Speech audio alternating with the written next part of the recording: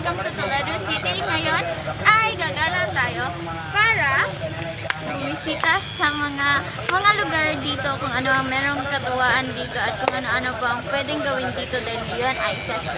Tara na guys, ang init!